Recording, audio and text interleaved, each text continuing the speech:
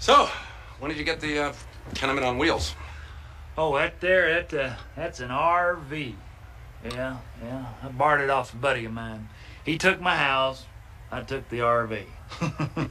it's a good-looking vehicle, ain't it? Yeah, it's so nice parked in the driveway. Yeah, it sure does. But don't you go falling in love with it now, because we're taking it with us when we leave here next month.